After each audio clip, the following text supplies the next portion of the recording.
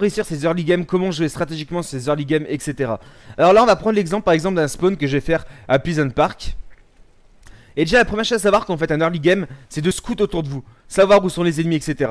Si là, par exemple, vous avez fait un très bon spawn et que vous savez que vous êtes premier sur le spawn, le but, ça va être d'essayer de, voir où c'est qu'il y a une arme. Donc, par exemple, un pompe, etc. Ça va privilégier un pompe, une PM, pour aller directement, euh, simplement avoir une arme et être safe si jamais l'ennemi spawn à côté de vous pour pouvoir le tuer directement. D'accord? Ça, c'est le plus important.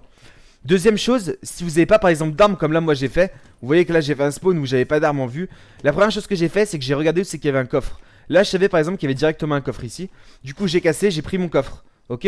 Et maintenant il y a une chose hyper importante de savoir sur votre early game, c'est que les coffres spawnent à 100%.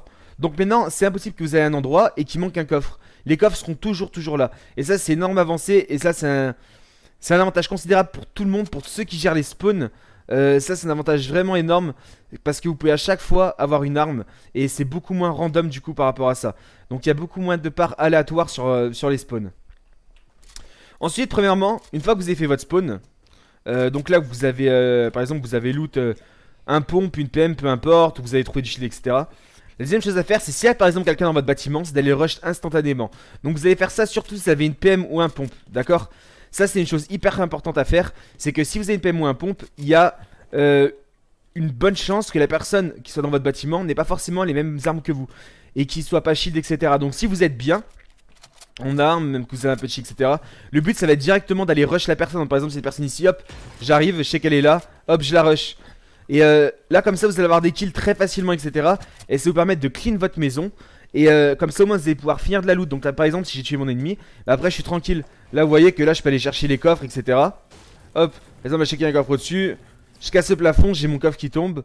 Hop, et là, je suis bien. Du coup, je peux continuer à, à farm ma maison. Et donc, ça, c'est ma petite échelle que je vais avoir quand je fais mon spawn. Donc, une fois que là, vous avez clean votre maison, le but maintenant, ça va être d'aller clean votre spawn. Alors, quand je dis clean votre spawn, ça veut dire clean la ville. D'accord? Donc là, par exemple, pour une ville comme Pleasant Park, il est possible que vous n'arrivez pas à clean la ville entièrement. Euh, c'est-à-dire que la ville est un peu est très grande, elle est assez vaste. Du coup, là, par exemple, moi, je vais plutôt me concentrer sur les maisons qui sont en face de moi. Là, par exemple, une fois que j'ai clean ma maison, que je suis très bien, etc. Ce que je vais faire, c'est que je vais essayer d'aller clean cette maison. Ok? Et ça, c'est vraiment une chose hyper importante à faire. C'est toujours, on clean les maisons euh, qui sont proches de nous, etc. Comme ça, au moins, on se met de mieux en mieux dans la game plus on va tuer de personnes, mieux on aura de bulles, mieux on aura de shield, mieux on aura d'armes, etc. Et du coup, plus on sera performant du coup face aux autres joueurs. C'est par exemple moi là j'arrive avec euh, contre un mec qui a juste une R, moi j'ai un pompe et une PM. Et bah en plus j'ai du shield, il a pas de shield, bah j'ai 9 chances sur 10 de gagner le fight, d'accord? Voire plus, j'ai 89 chances sur 100 de gagner le fight. Et c'est ça qui est important à faire, c'est toujours, on commence par clean sa maison ou son bâtiment et ensuite on va clean, on va essayer de clean le spawn. Donc là par exemple pour un PP, je vais essayer de clean comme ça. Hop là je vais partir par cette maison, là, ensuite je vais aller sur celle-ci, etc. Ok? S'il y a des backstabs, je vais en profiter. D'accord? Donc je vais toujours essayer de prendre le backstab. Et prendre un backstab, les gars, c'est toujours la même chose. Pour ceux qui suivent beaucoup mes cours, je l'explique souvent. Euh, c'est toujours, on prend une hauteur. Ok? Ça, c'est hyper important. Quand on a fini son spawn, hop, on prend une hauteur. Ça nous permet d'avoir une visu. Donc là, par exemple, on n'est pas obligé de build. Si c'est sur notre maison. Là, vous voyez, là, j'ai une visu sur à peu près tout ce qui se passe. Ok? Donc ça, c'est important. Et là, si par exemple, il y a backstab à prendre, hop, je prends la hauteur. Comme ça, j'ai l'avantage. Je peux spam sans prendre le focus. Et du coup, les mecs qui sont en dessous, hop, je les spam. Et si là, je vois que ça se découpe vraiment, par exemple, aux pompes, etc., que ça se met beaucoup de balles. Là, par exemple, je vais pouvoir aller aux pompes. Hop. Je vais chercher mes kills. Ok Et là, par exemple, les mecs seront forcément low et tout. Et du coup, je vais pouvoir récupérer, bah, par exemple, deux kills hyper facilement ou au moins un kill. Et du coup, avec deux stuff. Et c'est ça qui est vraiment très fort à faire. Mais faites attention également à ne pas vous faire backstab euh, par d'autres ennemis. C'est-à-dire qu'il y a souvent le backstabber qui se backstab. Et ça, c'est très dangereux, les gars. C'est que si vous voyez par exemple un mec qui est accroupi là-bas, que là vous les prenez 50-50, méfiez-vous, les gars. D'accord? Euh, Essayez de lui tirer dessus d'abord sur le mec qui est là-bas. Essayez de le faire fuir, puis ensuite vous prenez votre, euh, votre backstab. Voilà, donc ça c'est vraiment les points stratégiques de l'early game. Euh, C'est des choses qui sont impératives à faire en fait à chaque early game Où vous allez avoir de la contest. C'est on clean son bâtiment. Ensuite on va clean ce qu'il y a autour Ok?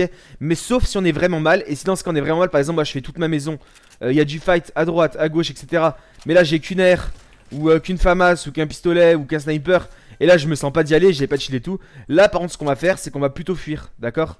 Là le but ça va être plutôt de reculer etc de pas mourir. Et là, vous allez voir que peu importe où vous allez aller, vous allez avoir des maisons aux alentours, des petites cabanes, etc. Vous allez avoir euh, forcément euh, un coffre, une arme, etc. Vous voyez par exemple euh, des petits points d'intérêt comme ça. Là, vous voyez là-bas, j'ai une petite base militaire, là aussi. Vous voyez que vous avez vraiment plein d'endroits pour vous mettre bien. Et même si vous, à votre spawn, vous n'arrivez pas à le clean, si vous êtes trop mal pour, pour arriver à le clean, ne prenez pas le risque de mourir pour rien.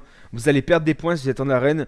Vous, vous pouvez perdre votre tournoi si vous faites un tournoi, etc. Donc là, vous avez plutôt privilégié la fuite. D'accord?